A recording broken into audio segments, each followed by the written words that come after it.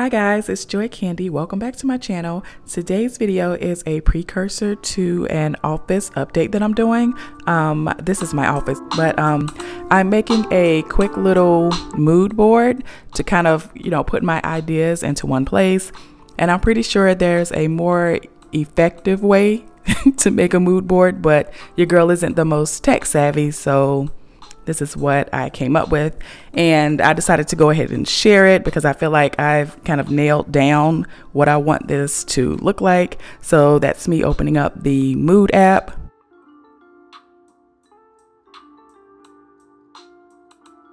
And I'm grabbing a few of pictures that I have, you know, saved on my phone.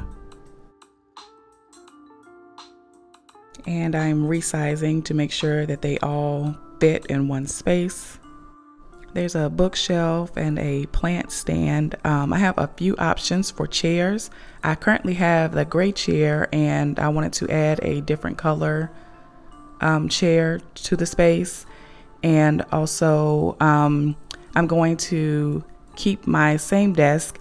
I do want to replace it with a wooden desk, but I don't have any real reason um, to replace it other than just me wanting a different desk.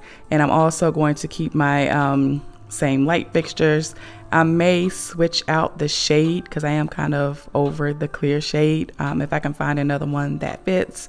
And I also put up options for wallpaper and a um, gallery wall.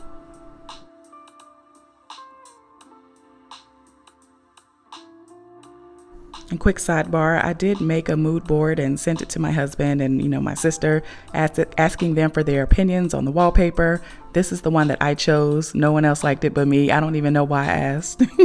um, I've loved this since Margot's room on the Royal Tenenbaums. I thought that was amazing. I love the red, but I couldn't do the red. That's a little too much energy for me.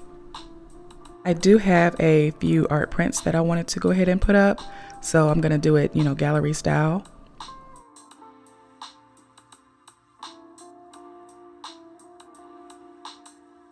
And this essentially is what I have in mind. You know, I'm kind of a, a low key maximalist. I like, you know, a lot of things happening at once as far as, you know, colors and textures. And here are just some examples that I pulled from online. And I really, you know, I really enjoy this aesthetic. So I'm looking forward to getting there and getting my space refreshed. Again, thank you so much for watching. I plan to have this video up in March um, and hope to see you then.